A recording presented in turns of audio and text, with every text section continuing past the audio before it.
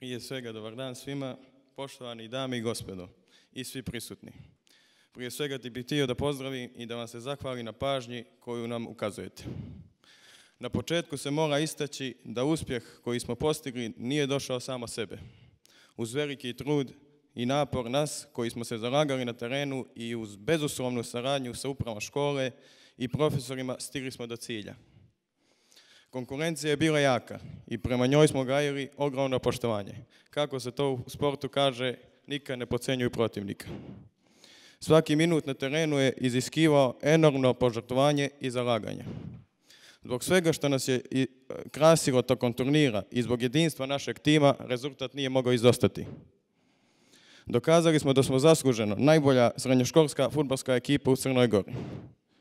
Ovom prilikom bi se zahvalio svim mojim saigračima, profesorima, upravi škole, što su radili za postizanje ovog uspjeha. Velika mi je čast što sam učenik škole gimnazije 25. maj i što sam danas reprezent te ustanove i svih koji su sa njom povezani.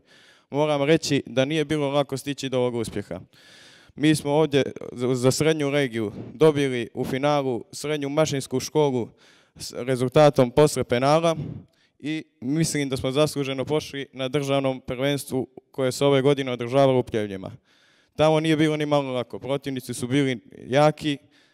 U polufinalu smo dobili rezultatom 8-0, ni malo lošu ekipu Pljevalja, srednje stručne škole iz Pljevalja, ali rezultat je takav kakav je. U finale smo dobili pobjednika e, srednje regije broj 2, Danilogradsku gimnaziju e, Petar Petrović Njegoš rezultatom također 8-2, koji je realan, ali mogu reći da je gimnazija Petrović, Petar Petrović Njegoš pokazao veoma veliki trud i veliki talent da ti momci u budućnosti će biti velika budućnost toga sporta.